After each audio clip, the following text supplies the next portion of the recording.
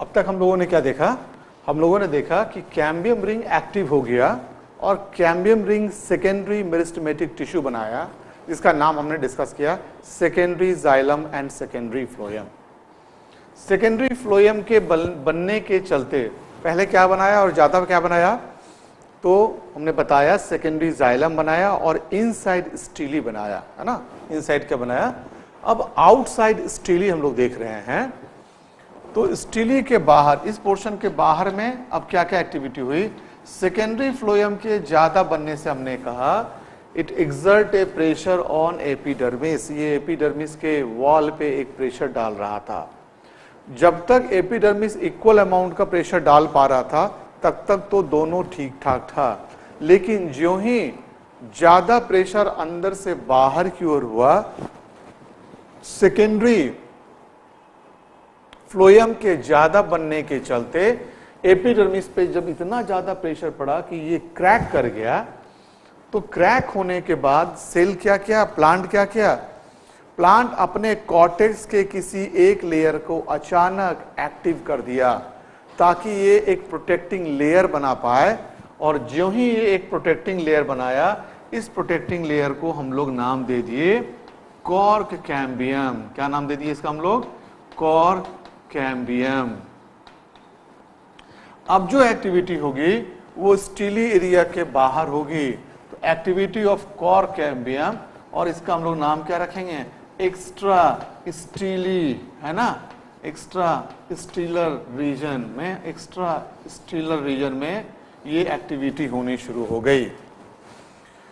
अब क्या एक्टिविटी हुई? तो सबसे पहले बना एक कैम्बियम रिंग के बाहर जो रिंग लाइक स्ट्रक्चर बना, पहले एक रिंग अंदर बना, इस रिंग का नाम रखे कैम्बियम रिंग अब इस कैम्बियम रिंग के बाहर फिर एक रिंग बन रहा है, इस रिंग का नाम रखते हैं कॉर्क कैम्बियम तो रिंग लाइक स्ट्रक्चर का नाम क्या रखे?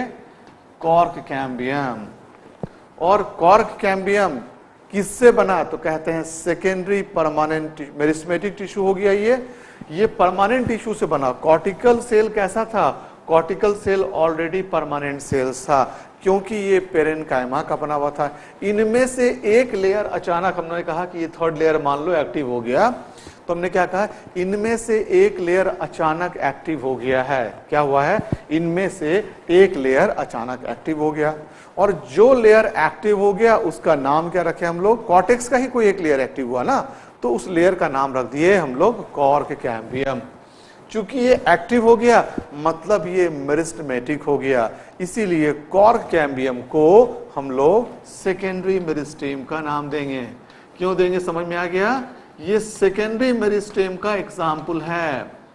तो सेकेंडरी मेरिस्टेम का एग्ज़ाम्पल अब देखो कौन कौन सा हो गया। पहला इंटरफेसिकुलर कैम्बियम ये सेकेंडरी मेरिस्टेम का एग्ज़ाम्पल है। है ना? इंटरफेसिकुलर कैम्बियम बाद में मेरिस्मेटिक हुआ था। है ना? उसके बाद हम लोग क्या कहेंगे? कैम्बियम रिंग कैम्बियम रिंग बना तो है प्राइमरी मेरिस्टेम और सेकेंडरी मेरिस्टेम की एक्टिविटी से, है ना? तो ये दोनों मेरिस्टेम का एग्ज़ाम्पल हो गया primary as well as secondary meristem फिर हम लोग क्या कहेंगे? फिर बना कॉर्क कैम्बियम कॉर्क कैम्बियम किसका एग्ज़ाम्पल हो गया? कॉर्क कैम्बियम फिर सेकेंडरी मेरिस्टेम का एग्ज़ाम्पल हो गया। और पोजीशन वाइज अगर हम लोग पूछेंगे तो पोजीशन वाइज का तरीका तुमको सिखा चुके हैं। ऐसे को देखो कैम्बियम को और यहाँ पे खड़ा करो। प्लांट को कहाँ पे आया ये? बॉडी के लेटरल साइड में। तो कॉर्क कैम्बियम लैटरल मेरिस्टेम का भी एग्ज़ाम्पल हो गया। तो लैटरल मेरिस्टेम का भी ये एग्ज़ाम्पल हो गया, है ना? तो हम लोग कई तरह से चीज़ों को समझ रहे हैं। मतलब एग्ज़ाम्पल पूछेगा, तब भी समझ में आ जाना चाहिए। और अगर इस पे कंसेप्शन की बात करें तो कंसेप्शन पूरी तरह से हम लोग क्लियर कर रहे हैं। अब सेकेंडरी मेरिस्टेमेटिक टिश्यू इसका नाम है। अब जो सेकेंडरी मेरिस्टेमेटिक टिश्यू बना, इसका नाम क्या रखे? कॉर्क कैम्बियम अब यहाँ पे कई क्वेश्चंस मेडिकल में, ये जो क्वेश्चन हम लोग यहाँ पे बनाए हैं ना, ये क्वेश्चंस भी एम्स में आया हुआ क्वेश्चन है। और देखो, ये कैसा है? हम लोग नाम रखे कॉर्क कैम्बियम कॉर्क कैम्बियम का नाम है फेलोजेन क्या नाम इसका है? फेलोजेन अब देखो, जेन मतलब होता है जनरेट करना, और फिलेम शब्द का मतलब होता है कॉर्क कॉर्क कैम्बियम फ्यूचर में फिलेम या कॉर्क को जनरेट करेगा। किसको बनाएगा? ये फ्यूचर में डिवाइड करके कॉर्क को या फिलेम को जनरेट करेगा। हमने नाम क्या रखा इसका? फेलोजेन ये तीनों में एक एक पी से वर्ड आने जा रहा है। और यही क्वेश्चन एम्स में आया था, है ना? हम लोग दिखाएँगे फेलोजेन पी से फिलेम पी से फेलोडर्म पी से, और इस सब का मिला के एक नाम, वो भी पी से, है ना? तो यही क्वेश्चन आया था। हम लोग इसको फिर से डिस्कशन भी अभी अच्छे से कर रहे हैं। तो सबसे पहले जो कॉर्क कैम्बियम बना, उसका नाम क्या रखे? तो सबसे पहले हम लोग कहेंगे कॉर्क कैम्बियम का नाम हमने रखा फेलोजेन क्या नाम रखा इसका हमने? फेलोजेन पहला पॉइंट क्लियर हो गया। कॉर कैम्बियम कैसे बना, ये भी क्लियर हो गया। जब एपिडर्मिस रप्चर किया तो कॉर्टेक्स का कोई एक सेल अचानक मेरिस्टमेटिक हो गया। हमने इसका नाम रख दिया कॉर्क कैम्बियम कॉर्क कैम्बियम अब पूरी तरह से मेरिस्टमेटिक टिश्यू है। इसलिए कंप्लीटली इसके पास कैपेसिटी है to divide and form new cell अब ये भी नया सेल कट ऑफ़ करना शुरू करता है। अंदर की तरफ़ भी और बाहर की तरफ़ भी, है ना? अंदर की तरफ़ जो सेल कट कट ऑफ़ करता है तो अंदर पहले से कॉटेक्स था, इसीलिए जो सेल ये बनाया, उसका नाम अंदर की तरफ़, उसका नाम रख दिए सेकेंडरी कॉटेक्स क्योंकि पहले से एक कॉटेक्स था। तो अब जो ये अंदर की तरफ़ बना रहा था नया सेल, उसका नाम क्या रखे? सेकेंडरी कॉटेक्स क्योंकि ये जो अब कॉटेक्स बना रहा है ना, ये सेकेंडरी ग्रोथ के समय बन रहा था। पहले से जो कॉटेक्स था, इसको हम लोग रिस्पेक्टिवली अब क्या नाम दे देंगे? प्राइमरी कॉटेक्स और अब ये जो अपनी एक्टिविटी के दौरान नया कॉटेक्स बनाएगा, उसका नाम क्या रखेंगे? सेकेंडरी कॉटेक्स तो ये अब नए नए सेल्स को अंदर की तरफ़ बनाना शुरू किया। इसका नाम क्या रखे हम लोग? सेकेंडरी कॉटेक्स सेकेंडरी कॉटेक्स को हम लोग फेलो डर्म भी कहते हैं। क्या नाम रखते हैं? डर्म मतलब स्कीन फेलो मतलब बिलो ये स्किन के काफ़ी नीचे बन रहा है। हम लोग नाम रख दिए इसका फेलोडर्म तो ये दूसरा टर्म हम लोग जाने। कॉर्क कैम्बियम का नाम जाने। हमने क्या कहा? कॉर्क कैम्बियम को हम लोग किस नाम से जानते हैं? कॉर्क कैम्बियम को हम लोग फेलोजेन के नाम से जानते हैं। फेलोजेन कैसे बना? फेले में मतलब कॉर्क और जेन मतलब जनरेट ये डिवाइड करेगा और कॉर्क को जनरेट करेगा। अब हम लोग आते हैं सेकेंड पॉइंट पे। कॉर कैम्बियम बाहर की तरफ़ डिवाइड करके बनाया कॉर्क कॉर्क कैम्बियम बाहर की तरफ़ डिवाइड करके बना दिया कॉर्क ये दिखा रहे हैं हम लोग। ये जो टिश्यू बना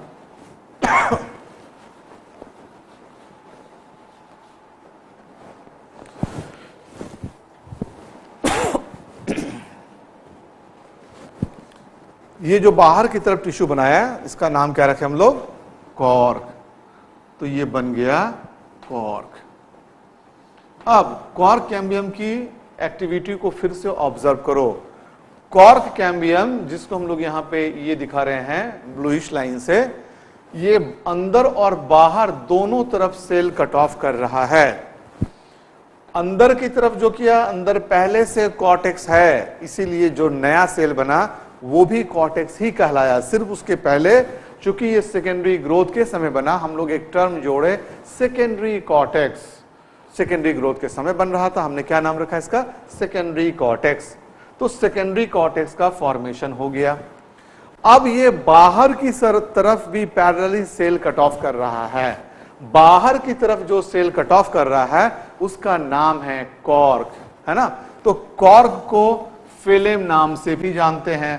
अंदर की तरफ़ जो सेल कट ऑफ़ किया, उसका नाम रखे सेकेंडरी कॉर्टेक्स इसको हम लोग फेलोडर्म नाम से भी जानते हैं। ये पी से जो नाम स्टार्ट हो रहा है ना, ये क्वेश्चन इंपॉर्टेंट है। पी से, तीनों शब्द देखो पी से। कॉर्क कैम्बियम का पी से नाम, क्या नाम था? फेलोजेन कॉर्क का पी से नाम, क्या नाम बताए? फेलेम और सेकेंडरी कॉर्टेक्स का भी पी से नाम। अभी हमने क्या बताया? फेलोजेन तो तीनों नाम पी से था। अब इन तीनों पी को जोड़ दिए। Phellogen that is cork cambium phellem that is cork phellogen that is secondary cortex इन तीनों सेल को मिला के एक नया नाम दे दिया गया, है ना? ये तीनों सेल को मिला के क्या नाम दिया गया? इन तीनों को मिला के एक नया शब्द दिए। पेरी मतलब चारों तरफ़ डरम मतलब स्कीन। क्या नाम दे दिए? पेरी मतलब चारों तरफ़ और डरम मतलब स्कीन। चारों तरफ़ का ये नया स्क्रीन बन रहा है। चारों तरफ़ एक नया स्क्रीन बना, इसलिए इस पूरे लेवल का नाम दे दिए, पूरे एरिया का नाम दे दिए हम लोग, पेरी, डर्म। ठीक है, यहाँ तक? तो फिर से बताओ क्या क्या बताया हम लोग? हम लोगों ने बताया कि नए नए सेल का फॉर्मेशन हो रहा था। एपिडर्मिस पे प्रेशर पड़ा तो एपिडर्मिस रप्चर कर गया। रप्चर कर गया तो बाहर से माइक्रोब्स और पैथोजेनिक बैक्टीरिया अंदर आएगा और प्लांट को डिज़ीज़ हो जाएगा। प्लांट बचने के लिए क्या किया? एक नए प्रोटेक्टिव टिश्यू का फॉर्मेशन किया। ये नया टिश्यू कहाँ पे बना? तो आंसर क्या देंगे?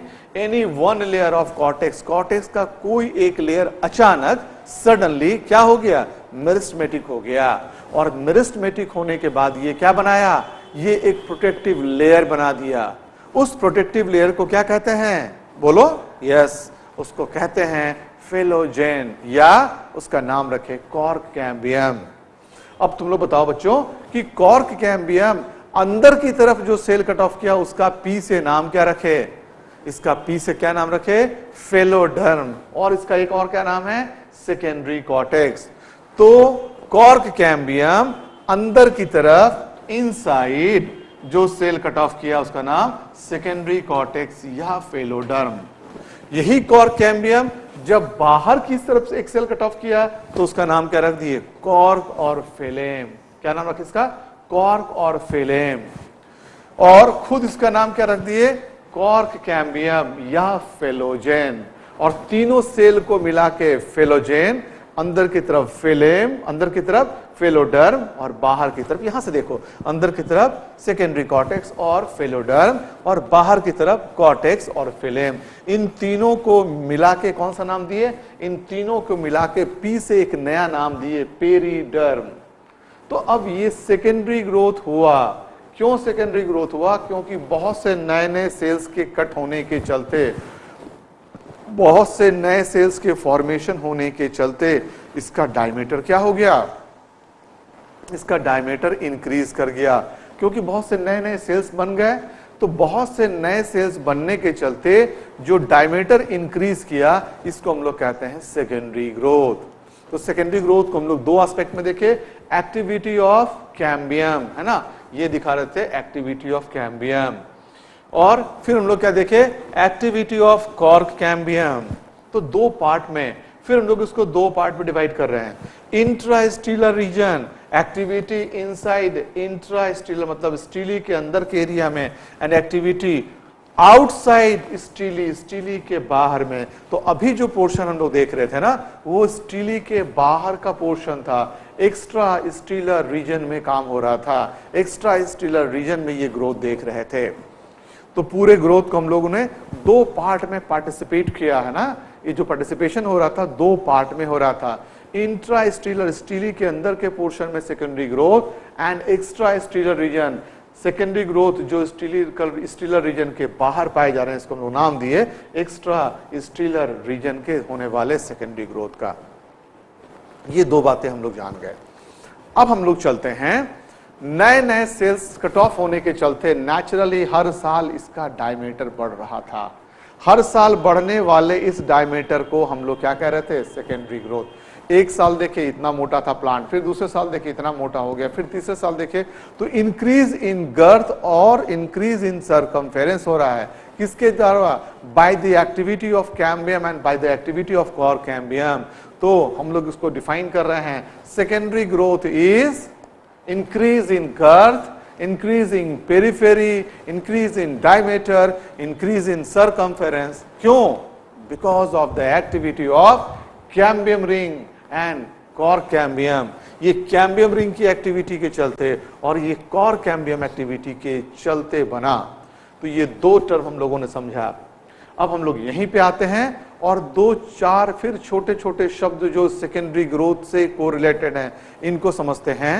और ये टर्म होंगे annual ring spring wood and autumn wood तो ये चार शब्द को हम लोग समझ रहे हैं. Annual ring spring wood and autumn wood तो इनको देखेंगे और इसी के साथ साथ जो चौथा शब्द होगा, वो होगा ड्यूरामैन तो अब हम लोग इन शब्दों को समझते हैं जो सेकेंडरी ग्रोथ से ही को रिलेटेड हैं.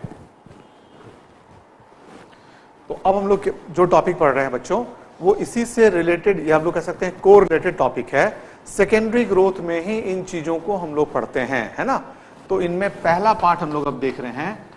टॉपिक है एनुअल रिंग एनुअल रिंग का मतलब एक साल में बनने वाले रिंग की बात कर रहे हैं। तो प्लांट या क्लाइमेटिक कंडीशन दो तरह का होता है। एक ट्रॉपिकल एरिया का प्लांट और एक टेम्परेट एरिया का प्लांट तो जो टेम्परेट एरिया का प्लांट है, वहाँ पे सीजनल एक्टिविटी क्लियर कट दिखती है।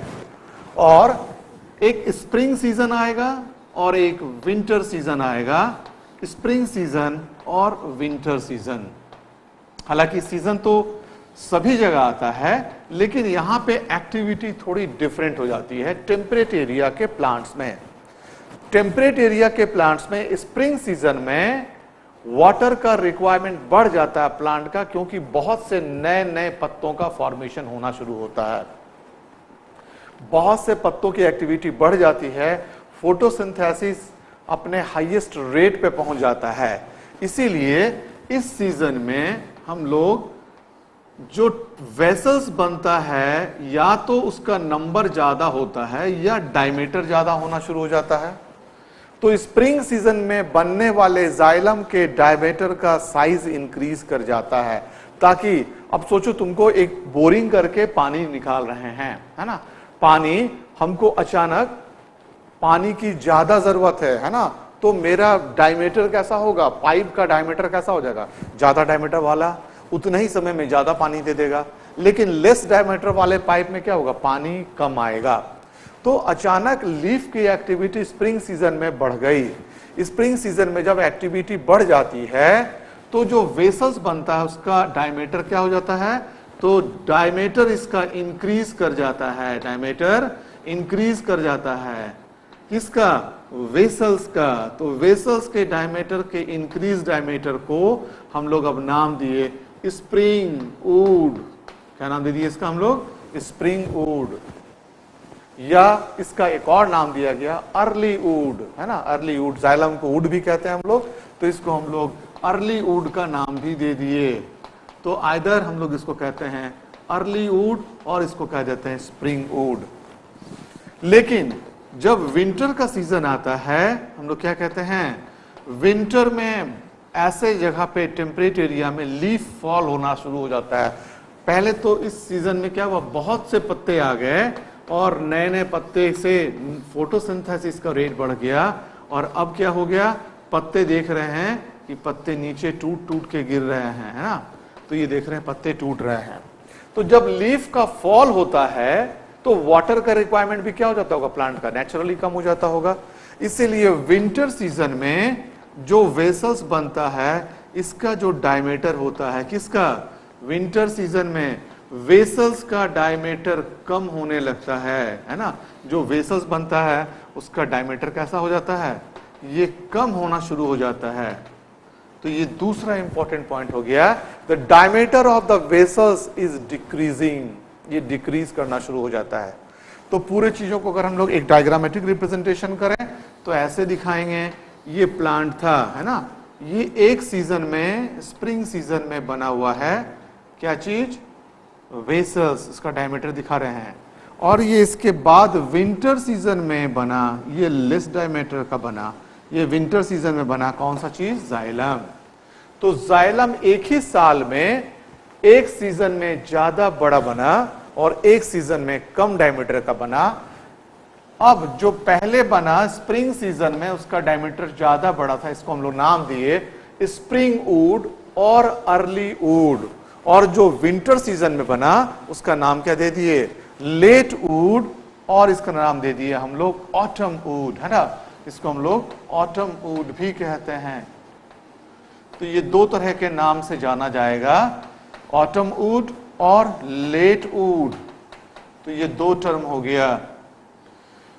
अब इन दोनों वुड के डायमीटर को मिला के कहने लगे एनुअल रिंग तो ये टर्म है ये annual ring what is annual ring तो एक साल में दो डायमीटर का रिंग बना.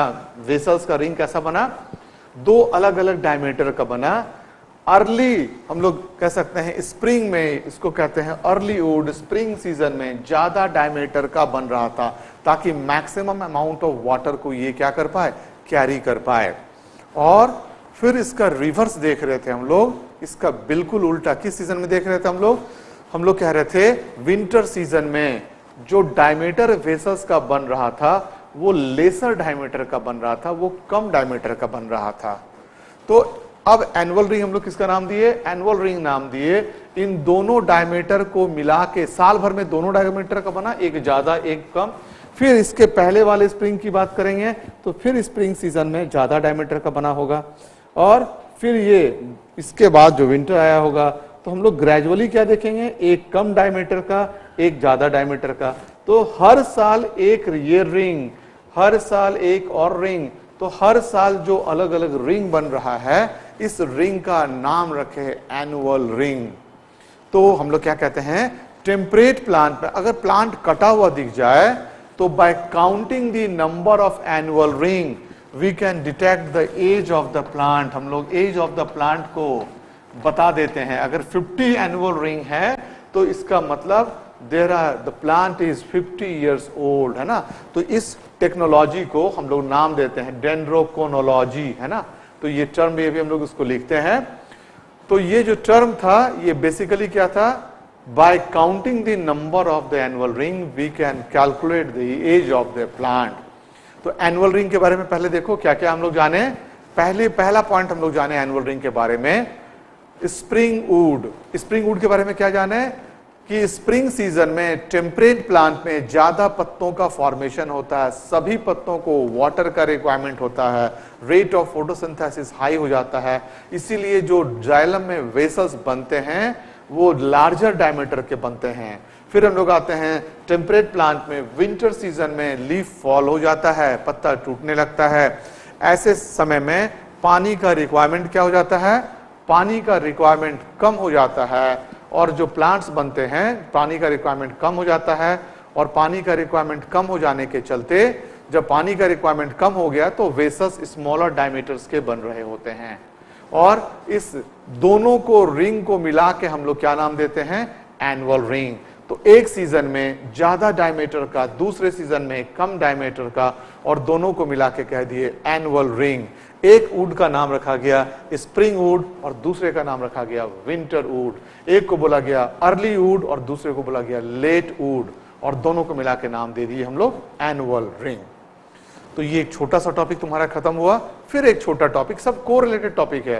अब जो दूसरा टॉपिक देखने जा रहे हैं, वो है heart would and SAP would ये सारा एनाटॉमी में सेकेंडरी ग्रोथ का ही पार्ट हम लोग देख रहे हैं। ठीक है? चलो, फिर हम लोग दूसरा टॉपिक शुरू करते हैं। देखो सेकेंडरी ग्रोथ में हमने क्या क्या देखा? हमने देखा कि जो वेसस बन रहे थे, वो एनुअल रिंग टर्म हमने यूज़ किया और कहा कि वेसस may be of larger diameter और वेसस may be of smaller diameter दोनों बात हो सकती है।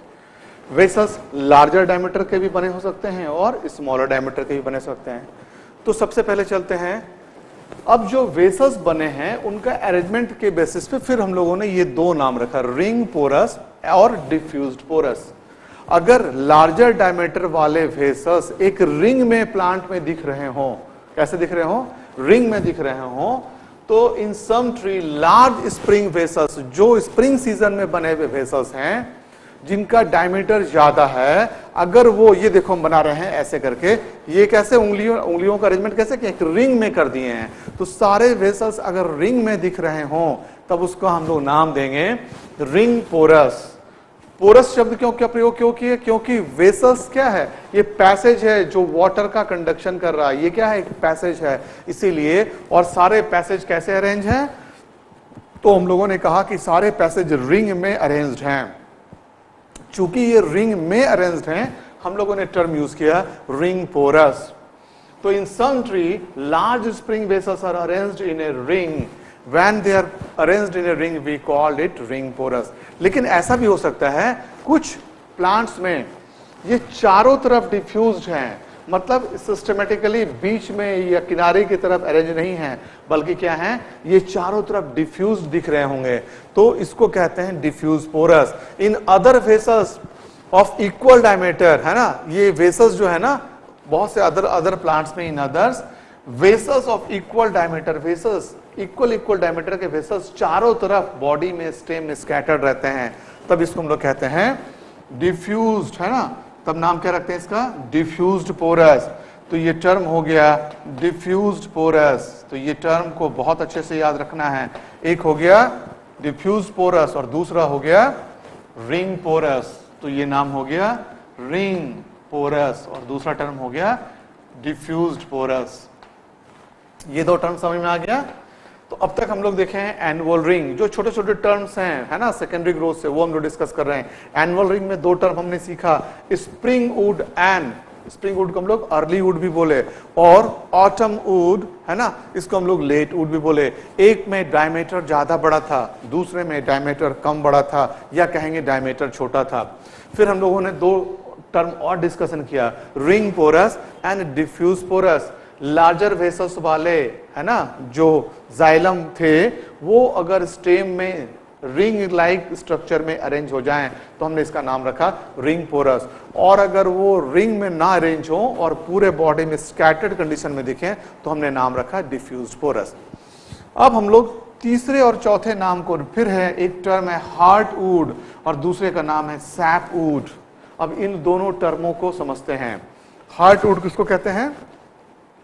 एक ओल्ड प्लांट की बात कर रहे हैं। किस प्लांट की बात कर रहे हैं? ये देखो टर्म लिखे हैं इन एन ओल्ड प्लांट है ना? एक प्लांट जो पुराना हो चुका है, जो बड़ा हो चुका है, जिसमें काफ़ी सेकेंडरी ग्रोथ हो चुका है, उस प्लांट पे जाते हैं और ऑब्ज़र्व करते हैं। तो क्या देखते हैं? कुछ ऐसे वेसल्स हैं, कुछ ऐसे वेसल्स हैं वेसल्स किसके पार्ट हैं? Vessels are the part of xylem. Xylem का वेसल्स पानी कैरी करने का काम कर रहा था, लेकिन अब क्या देखते हैं? ओल्ड प्लांट पे ये बातें ध्यान रखना बहुत इंपॉर्टेंट है। अभी हम लोग एक एग्ज़ाम्पल से भी इसको कोरिलेट करेंगे और कहानी बताएँगे, ताकि तुमसे गलती ना हो। एक ओल्ड प्लांट में कुछ वेसल्स ऐसे हैं जो पानी का कंडक्शन नहीं कर रहे हैं। क्यों नहीं कर रहे हैं भाई? आपका तो काम है पानी का कंडक्शन करना। तो ये पानी का कंडक्शन नहीं कर रहे हैं, बल्कि क्या हुआ? इसमें जो डायमीटर था ना वेसल्स का, इसमें कुछ केमिकल कंपाउंड का डिपोजिशन हो गया है। जैसे टैनिन ऑयल गम रेजिन ऐसे केमिकल सब्सटेंस का डिपोजिशन हो गया है। और ये पूरा वेसल्स फिल्ड अप हो गया है इन्हीं केमिकल कंपाउंड से। किन किन केमिकल कंपाउंड का नाम हमने बताया? हमने बताया टैनिन हमने बताया ऑयल हमने बताया गम्स हमने बताया रेजिन ऐसे केमिकल कंपाउंड का डिपोजिशन हो गया। अब डिपोजिशन के चलते क्या हुआ? डिपोजिशन के चलते इसके बॉडी का कलर ब्लैकिश हो गया। ब्लैक कलर का दिख रहा था। तो ये कैसा दिखने लगा? ये ब्लैकिश दिखने लगा। एक इंपॉर्टेंट पॉइंट हम लोग बता रहे हैं। दूसरा, ये जब ब्लैकिश हो गया तो ड्यूरेबल भी हो गया। ये सिर्फ़ ब्लैकिश ही नहीं हुआ ड्यूरेबल भी हो गया। क्यों ड्यूरेबल हो गया? क्योंकि इस टैनिन के ऑयल्स के गम्स के, है ना डिपोजिशन से ये जो एरिया डेवलप हुआ वेसल्स का जो ब्लैक इन कलर दिख रहा था, इसमें जब किसी पैथोजेनिक बैक्टीरिया को डाल के देखते हैं तो देखते हैं ये अटैक नहीं कर पा रहा है। मतलब ये जल्दी से डिज़ीज़ प्रोन एरिया नहीं होगा स्टेम के इस पोर्शन पे डिज़ीज़ नहीं होगा, इसीलिए ये कैसा हो गया? ये ड्यूरेबल हो गया। कैसा हो गया? ये ड्यूरेबल हो गया तो नाम रखे, ये आदमी ड्यूरेबल हो गया। नहीं ड्यूरा मैन क्या नाम रखे इसका? ड्यूरेबिलिटी इसकी बढ़ गई। तो इस स्टेम की ड्यूरेबिलिटी क्या हो चुकी है? बढ़ चुकी है। अब तुम बोलोगे, सर, इसका नाम हार्ट वुड क्यों पड़ा? अब ये भी हम लोग समझते हैं। ये ओल्ड प्लांट है। कैसा प्लांट है? ये ओल्ड प्लांट है। ये जो कहानी हम लोग बता रहे थे, अब देखो, हम लोग के घर में हम लोग एक कहानी बता रहे हैं, तुमको ये नाम याद हो जाएगा। ये इस वुड को हार्ट वुड कहे, है ना? है ना? ये क्या किया? अब कंडक्शन का काम नहीं कर रहा है। अब हम लोग इसको हार्ट को अगर ये कहें कि ये हार्ड वुड है, ये कैसा वुड हो गया? हार्ड हो गया। क्यों हार्ड हुआ? जरा समझो बातों को। ये हार्ड इसलिए हुआ क्योंकि जो वेसल्स एक पाइप लाइक एरिया था, इस पाइप लाइक एरिया में चीज़ों का डिपोजिशन हो गया। किन चीज़ों का डिपोजिशन हुआ? तो टैनिन, ऑयल, गम्स और रेजिन जैसे केमिकल कंपाउंड का डिपोजिशन हो गया। और ये वेसल्स जो पहले पानी को कैरी कर रहा था, अब ये पानी कैरी करने का काम बंद कर चुका है, नहीं करता है। और ये हार्ड हो गया, स्ट्रांग हो गया, प्लांट को स्टेबिलिटी प्रोवाइड कर रहा है। क्या प्रोवाइड कर रहा है प्लांट को? प्लांट को स्टेबिलिटी प्रोवाइड कर रहा है। इसीलिए इसका नाम रखे ड्यूरामेन ड्यूरेबिलिटी से ये नाम डिराइव हुआ। ये ड्यूरेबल है। इसीलिए नाम क्या रख दिया इसका?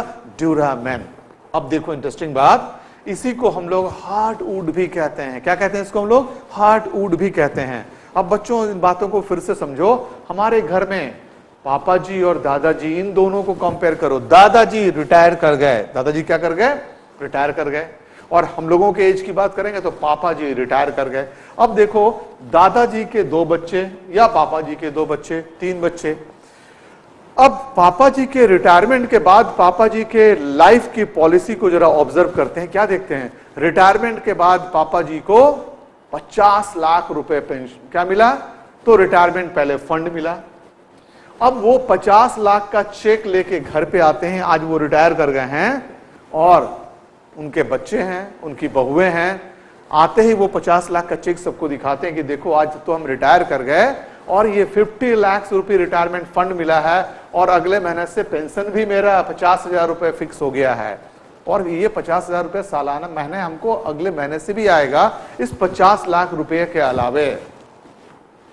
और अब तक वो काम करते थे और जब अपनी बहुओं को कहते थे, बेटा जरा पानी ले आना। तो तीन बहुओं में से कोई एक पानी लेके आती थी। और आज देखो क्या हुआ जो ही आज ये बोले कि बेटा पानी लेके आना, तीनों बहुएँ दौड़े दौड़े पानी लेके तीन गिलास लेके आ गई, बल्कि आज तो और कमाल हो गया।